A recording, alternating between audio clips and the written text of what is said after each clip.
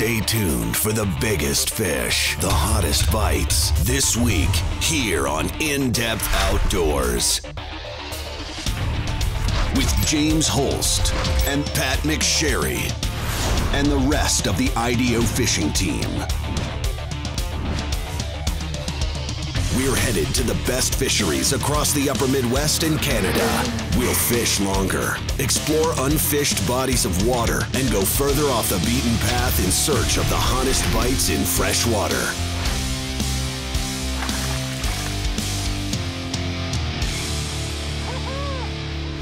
This is In Depth Outdoors. Thanks for tuning in to the first episode of In Depth Outdoors in 2019. I'm your host, James Holst. On today's show, we head to South Wisconsin to go fish with PJ Vick, where we're going to target a species we've never fished for intentionally here on In Depth Outdoors, the sauger. Now, the sauger is very similar to a walleye. Uh, a little bit more colorful, doesn't get quite as big, and is known to be very aggressive, which can make it a very fun species to target through the ice. Uh, we're also dealing with some very tough winter conditions this week. Uh, winter is back in a big way, much needed because we need those cold temperatures. But before those cold temperatures arrive, we're looking at a chance for some incredibly heavy snowfall and maybe even some rain. So that's going to make things out there on the ice today a little bit more difficult than usual. So stick around. It's PJ Vick and I here today, southern Wisconsin, targeting saugers on In Depth Outdoors.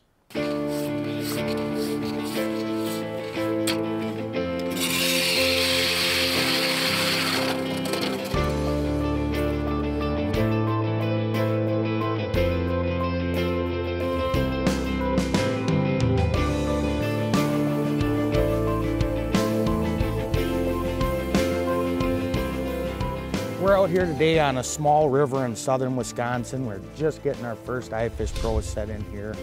Um, we definitely went further off the beaten path today. Uh, we had probably about a half mile walk to get in here uh, through the canary grass, marsh grass, thicket, woods. Um, and James is just about to get back from his second trip. He's probably really working up a sweat right now. but uh, what we have here, we're we uh, have had a really untypically high water year out here in Wisconsin, southern Wisconsin especially. Um, and it's rose these rivers and we're on a small back bay um, that's just adjacent to a deeper wintering hole uh, on this small river. So what we got going on is the fish in peak feeding windows move up and out of them holes onto these shallow flats and, and they're up here hunting. We got river shiners, um, yeah, the, the juvenile panfish, and one of the somewhat strange things that we find in their bellies every once in a while is they're up in these marshes grubbing for frogs, uh, right up in the mud, uh, digging in the cattails. So we're hoping for a good morning. We got a big frontal system coming in here. Um, it's gonna rain, it's gonna snow, uh, and we're hoping the fish really wanna bite out ahead of this.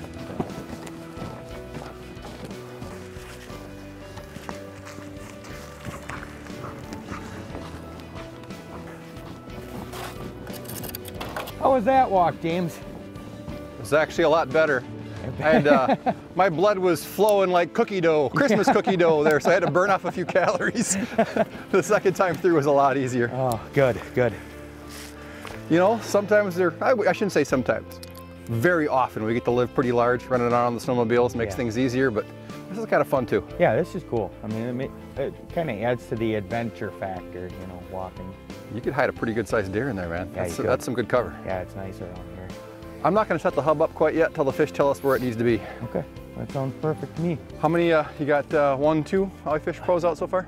Yeah, um, and we'll, we'll set the rest in here and get jigging. Sounds good. Okay.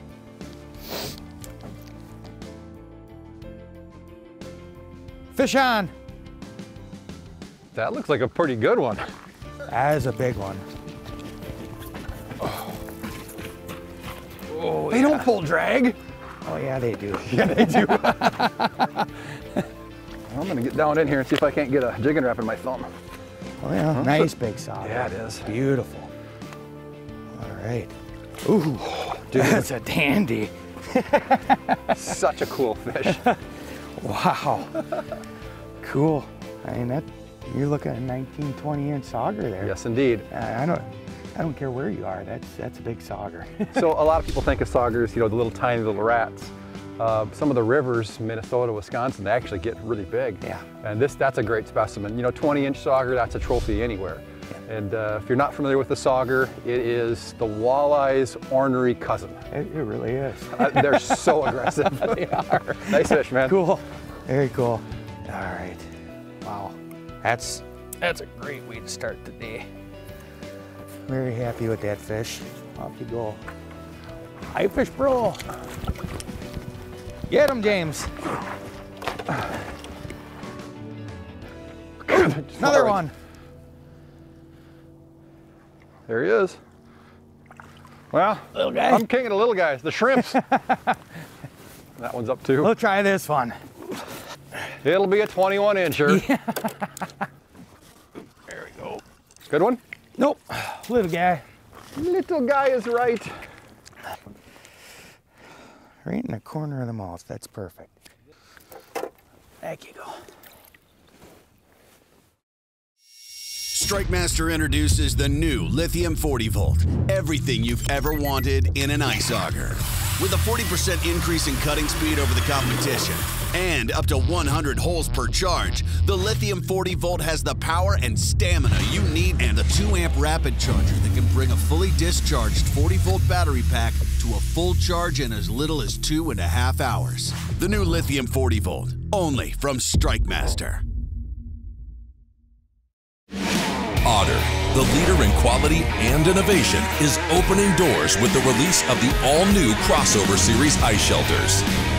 All crossover shelters convert from traditional front door entry to convenient side door entry and back again in seconds. Otter, the toughest, strongest, smartest, and now most versatile shelter on ice. From the first time you pick up a tuned up custom rod, you'll know you're holding something special. A rod not mass produced, but built one at a time by the hands of gifted craftsmen. Rods like the Precision, ice fishing's most versatile multi species rod, or the Precision Noodle with a tip so sensitive you'll never fish a spring bobber again. And the Commander, the rod that's never met a big fish it couldn't best. Tuned up custom rods. Ice rods handcrafted for you and the way you fish. This winter, set a trap for your next trophy with iFish Pro. Ideal for all species, iFish Pro is an innovative fishing system that allows an angler to use their favorite rod and reel instead of trying to manage the fish hand over hand. Complete your ice fishing arsenal with iFish Pro, tactical ice gear that puts the fight back into tip up fishing. Find iFish Pro online at ifishpro.com or at your favorite sporting goods retailer. These fish are notorious for like on a slow bite like here, hangers. Yeah. There'll be hangers on on the uh, on the iFish Pros, and even when they bite, these two bites that I've had, I'm jigging, and there's just weight there while I'm jigging. They just come up and glom onto it. Nope. Yep. Well, river fish never seem to have a shortage of food. No. Oh, there you go. I think I'm just gonna go live by this iFish Pro.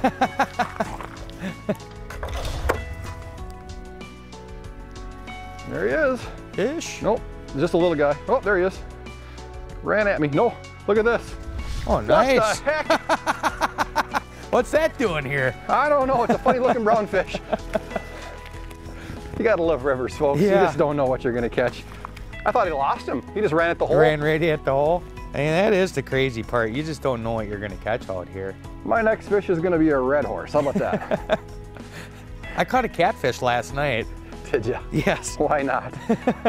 Just a little smallmouth. Later, dude. Zoop. Gonna have to tally up how many different species. Yeah. Guiding on pool four in the spring, Mm-hmm. fishing ringworms. Just as the water started to rise each spring, there'd be about a week time period where you'd get these buffalo. Oh yeah. These gigantic, they Yeah. hit those ringworms like a walleye. I mean, you'd be on the, you'd be fighting one, you'd be on the phone to the taxidermy guy. Yeah. Get, get, it- get it ready, here it comes. and it's a big, it's a, you know, big buffalo. Yeah, I've battled a few of them myself. Uh, we we get a good buffalo run up this river. Oh, there you go. Get him. All right.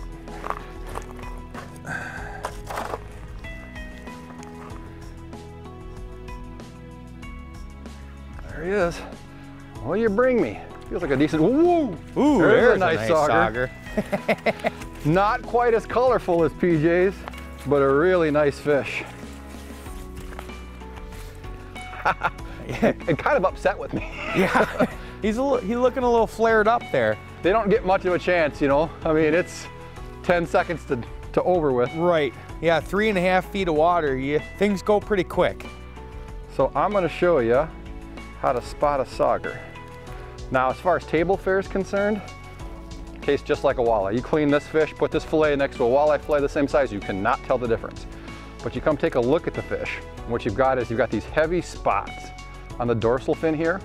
And one of the things you'll notice is there's a distinct absence of that heavy white tail. I mean, this one's just got like the little tiniest little line of white. Really is a dead giveaway though up here with the spots in the dorsal fin. All right, see you later. Goodbye. It has been a long time since I fished a river intentionally for sauger back in my guide days.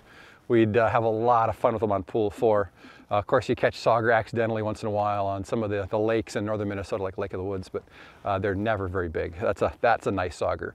And uh, one of the things that's really nice about these uh, saugers on these rivers is, you know, occasionally you'll get a 22 to 24 inch sauger and they get real girthy. Uh, so, you know, compared to a, a, lake walleye, they're a really cool fish. You just don't get much of a chance to target them. And uh, what I love about them is just how aggressive they are. You'll see it on the jigging rods, how hard they hit the baits, and then how aggressive they are when they, when they grab one of these shiners. It almost seems like a pike strike. I mean, you just watch the line just peel off the, the rod and reel. So a pretty cool fish that, you know, I think this is the first time here at In Depth Outdoors in 13 years that we've ever targeted them on purpose. In Depth Outdoors, Spot on the Spot ID. On today's Spot on the Spot ID, one of our biggest challenges in communicating the uh, location that we fished is finding a map for the body of water we fished. These really small rivers in southern Wisconsin aren't mapped by anyone.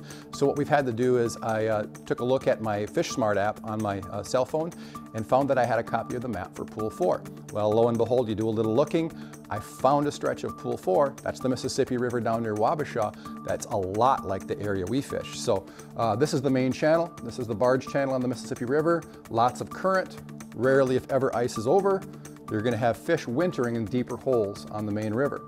Now, the scenario we saw was in periods of low light, early and late in the day, fish would move from the main channel up into the shallow connected bay. And what these fish were doing there is they were targeting young of the year panfish, bluegills and crappies. Now most years, you just wouldn't have enough depth in these shallow side bays to pull these walleyes and saugers up to feed. You know, uh, right now the rivers in southern Wisconsin are incredibly high uh, following a year of very consistent above average rainfall. So it's created a scenario that has been overlooked by anglers because they haven't had high water like this in a number of years. Lo and behold, PJ goes to check it, the fish are there waiting. I can just about guarantee you there's a small river near your house in the area that you fish that chances are you target, or you know, anglers in the area target for early season walleyes and saugers. And then for the rest of the year, they basically forget about it. So keep this general pattern in mind. Uh, a lot of rivers don't freeze well enough to fish them in the winter, but if you look for these shallow attached bays with enough depth, uh, you're gonna be very surprised at the number of game fish that will come up shallow to feed, and they can be ripe for the taking if you're one of the anglers willing to go out and do a little experimenting with the areas you fish.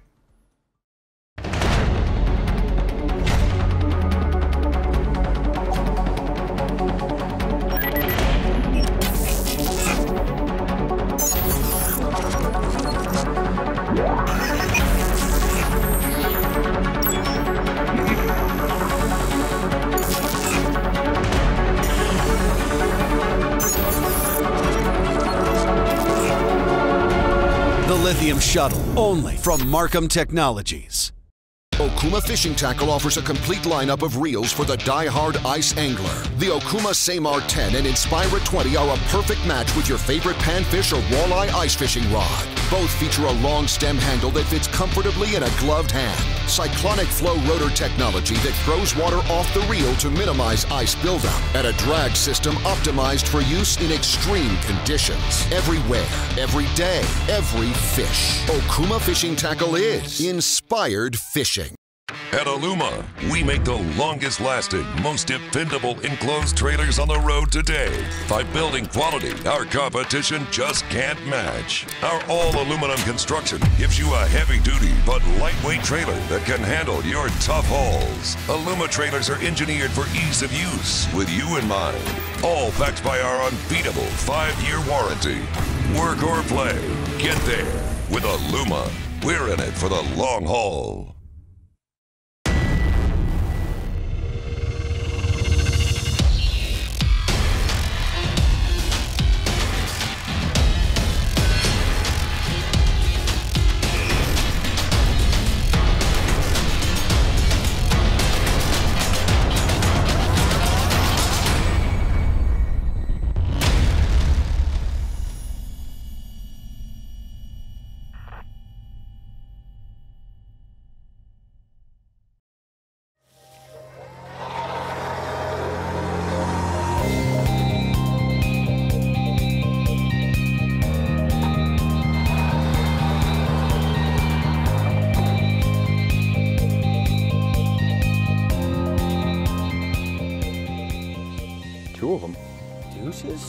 Deuce is wild, buddy. Deuces? If you're not gonna hit my Jigging Rap, go pick a shiner. Yeah. go You're get surrounded by him. There he is. There. Whip that out there like a ninja. A fishing ninja over here. Come here, you. Wait a minute, I thought they were supposed to be aggressive. That guy just eyeballed it. When he decided to finally eat it, that's the downside of river fish. There's so much food. That's a pretty one. See you later. I think I'm gonna go with the shiner head. I had a fathead head head on there for the longest Yeah. time and it was not as effective, I don't think. They definitely show a preference towards them uh, lake shiners. Get rid of that. Just a little meat, a little flavor. It's a number three Jigging Rap. That's that uh, orange, fluorescent orange. Good river color. And that little fish had no chance because, you know, we're really, I'm gonna get right down to it. We've got about that much line out, very shallow. A guy wouldn't even think sometimes that there'd be, you know, this many fish back here in such shallow water. Yeah, the fish are where the food is, and, and that's what they're doing. They're coming up here chasing food. You got a flag up. Yes, I do. Get them. Oh yeah. Pretty Nice. decent one. Good, good. They got such cool colors. We had a little bit of a, I wouldn't call it slow no, patch, but uh, the fish we were catching were a little smaller. This one's a little bit nicer, but I guess that's gonna come with the territory. You know, one of the things that I'm definitely concerned about today is, and this is something that I've learned over time, you know, doing the TV show now for about 13 years. Gonna fire that guy back. Cool little sauger, back in the hole. But what we got coming is the first major cold front of the year. And, uh, you know, I've learned from experience that, you know, you get these uh, stretches of warm, stable weather like we've had throughout December.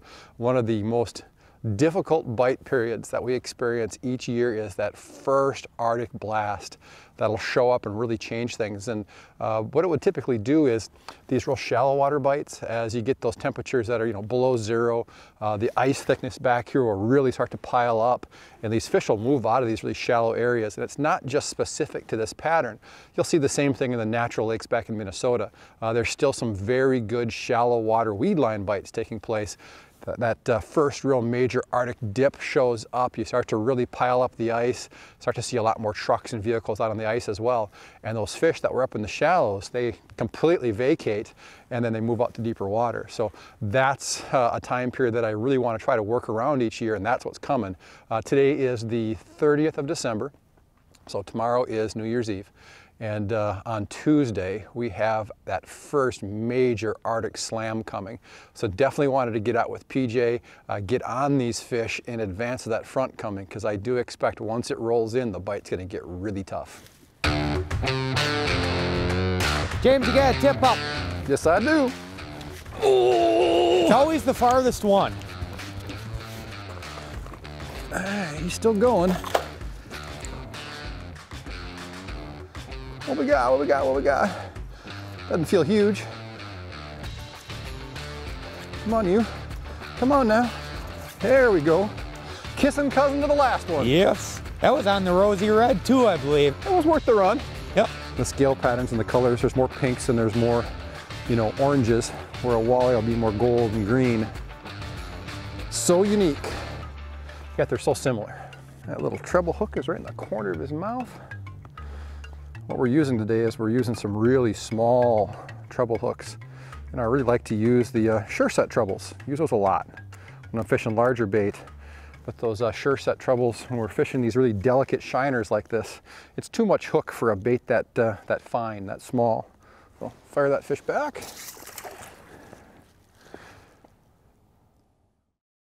Brandel GM in Aitkin, Minnesota's only haggle-free Chevrolet, Buick, and GMC dealer, is a proud sponsor of In Depth Outdoors TV. Our Brandel value price ensures that you don't have to spend your entire day haggling to get a great deal. And every new vehicle comes with our exclusive gimmick-free lifetime powertrain warranty. Whether you're in need of service, sales, parts, or body shop repair, stop by our state-of-the-art facility in Aitkin or visit us 24-7 at brandelgm.com.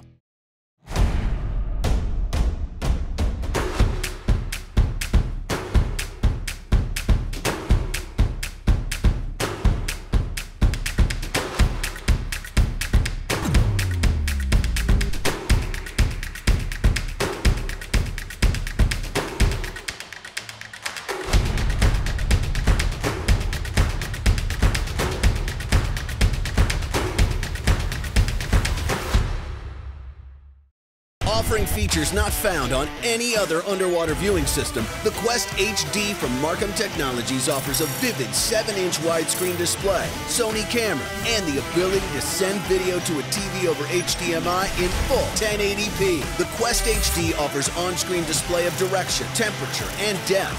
This season, get your eyes below the ice and see what you've been missing on the big screen with a Quest HD underwater viewing system from MarCum Technologies.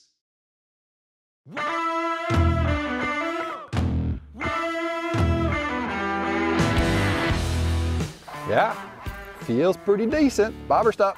All right. Come on up. Oh, Ooh, nice walleye. Yeah. All right. cool. You said it could happen. Yep. Bonus. Yes, sir. A little bit of everything today. Oop, right in the corner of the maw.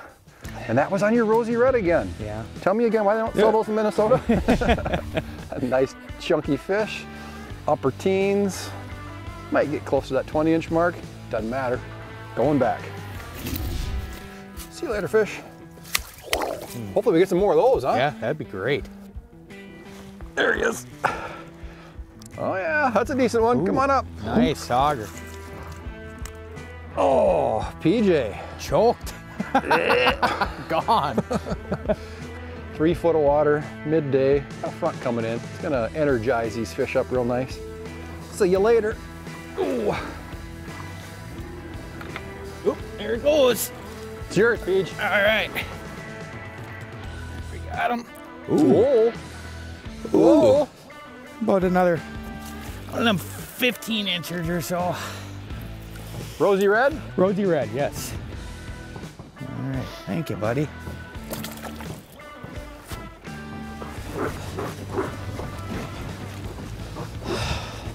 We got a little rain, we got a little bite. Yeah, midday. Low, we haven't had a. Line's caught down here on the bottom of the ice. Got it?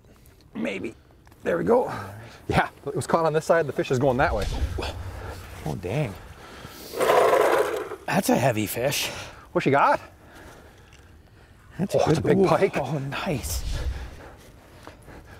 Uh, this isn't done yet. No, no, he's not done. He just figured out that there were some, some shenanigans going on. That's crazy. That- Species number six for the day. Don't count the chicken yet, man. It's a fatty. Yeah, it is. Nice fat fish. Well, the weather person turned out to be right. The rain showed up. Yeah, it did. I'm hoping they're right about it, just dropping a few uh, degrees so we go from rain to snow. Oh, that's a fatty. It's so fat I can't, there's nothing, I expected the gill plates to just kind of pop out and there was nothing to grab to. There you Oh, go. yeah. Oh, How nice. That? Yeah. Well, that'll scare some small saugers. Nice fish. Yes, it is. right. Some of them smaller ones could be food. Right. We got lucky to Yeah. keep that, one, that little hook, and two, not have this fish bite us off. Yeah. Perfect hook placement. Not bad at all. Boop. Off you go. Nice. Good deal. Boy, if you stuck a 40 incher in here, it'd be some That- heft. Yeah, that that's got a belly on it. Huh. Nice. Uh, species number six. Number six. Not bad. Your pike is much more impressive than your catfish was. yeah, Much better. I take this over that any day. I'll grab uh, Rosy Red. yeah, this was a rosy red again. Yep. Let's spend the ticket. And you want to know why this flag went up? Because the last time you caught one over there, I took the middle bucket and moved it over by that hole. now I got to bring it back. It's slimy. I got the slammage on there. there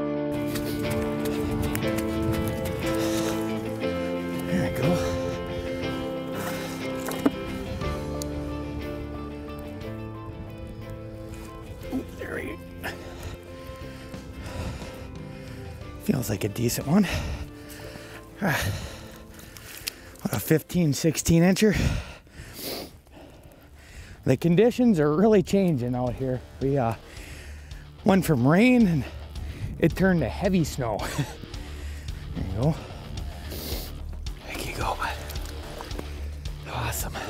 So that brings us to the end of today's show. Had a lot of fun targeting saugers here for the very first time at In Depth Outdoors, and Mother Nature definitely made it tough for us second half of the day. Anytime you get rain like that, wet, heavy snowfall, it's tough on the fisherman, but even harder on the camera guy. He did a great job today keeping the equipment safe without missing a beat. So before we go, huge shout out to PJ Vick. You know, southern Wisconsin, a lot of people live in that part of the country and there's a lot of ice fishing pressure, yet he's still always able to find these really unique bites that are just overlooked by the masses. So PJ, can't wait to fish with you again in the very near future. Now, before we go, don't forget, go to our homepage, indepthoutdoors.com and get yourself registered for the Dream Trip giveaway for your chance to fish and film an episode of In Depth Outdoors with the crew here. So thanks for tuning in, everybody. We'll see you next week. For more info on the latest fish reports, gear recommendations, and hottest techniques, connect with us online at indepthoutdoors.com or follow us on Facebook at In Depth Outdoors. And if you enjoyed today's show, be sure to let our sponsors know.